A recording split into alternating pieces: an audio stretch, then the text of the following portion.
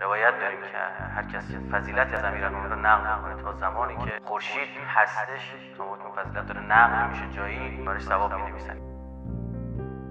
واقعا باید یک رشته دانشگاهی باشه به اسم علی شناسی تا خود دکتراش. اینقدر عدالت امیرالمومنین ویژه بود که دنیا نظیر این رو ندیده. نظیرش رو نه باور نکردنیه. اینکه پر ارزن از دهن مورچه ای نمی‌گیرم نگرفت. والله نگرفت. طرف در مد امیرالمومنین صحبت می‌کرد. آقا اینو به جرم دزدی گرفتنش خیلی عاشق امیرالمومنین بود. انگشتاشو قطع کردن داشتن میبردن برای همون بابایی که باش بحث می‌کرد و دید. گفت ها چیه؟ عدالت علی رو چشیدی؟ گفت دقیقا برای همین عاشقشم که به من رحم نکرد. اینقدر عدالت امیرالمومنین ویژه بود که دنیا امیرالمؤمنینی که دشمنانش از خوبیش رو استفاده می‌کردن. در جنگ سفین اینا رفتن بالای آب و بستن.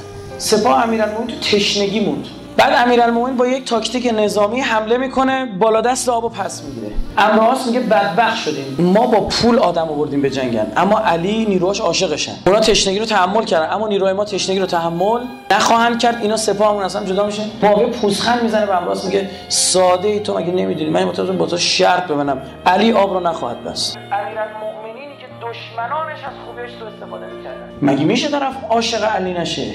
امیرالمومنین توی جنگ وسط جنگ حواسش به دو تا اسب توی جنگ هستش. روی اسب داشتن با هم دیگه دو نفر آقا صحبت می‌کردن. گفت آی بفرمایید منبر نیستش رفتید بالا؟ اون مال جنگ بود جان انسان وسط بود. از این اسب به عنوان وسیله داشته استفاده می‌کردی. صندلی نی کرسی نیست منبر نیست به پایین. تو اون هیروبی میگه وسط دعوا طرف نرخ تعیین می‌کنه. خب این علی عاشق شدن نداره عاشقش بشه. اساتید ادبیات دانشگاه های کشورهای عربی یکی از بحثه که سر کلاسشون همیشه درس میدن و بحث می‌کنن ادبیات لسان امیرالمومنینه. امیر ملک کلام اصلا لقبشه. یعنی تو کلام تو تو میتازی. فسیح ترین تویی. علی که صفت رزاق بودن خدا در او تبلور کرده. بلند میشه میره در این خونه ها رو می‌زنه. دونه دونه بهشون میرسونه خودش به شخصه. ما حسن مجتمع فرمود وقتی می‌خواستیم دفن کنیم حضرت امیر رو این پشتش رد پینه بسته و این تاولای این کیسه هاست که مینداخته رو دوشش بلند می‌کرد.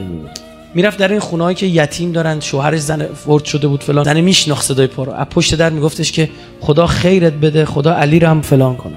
که شوهر منو به کشتن داد. حضرت پشت در میفرمود براش دعا کن. میومد اینطور می‌گفت می‌گفت نه الان نفرین می‌کردن حضرت حضرت گریهش میگه پشت در میفرمود که دعاش خدا اونم ببخش. در عین این که تجلیگاه صفات الله عبد ترین آدم بود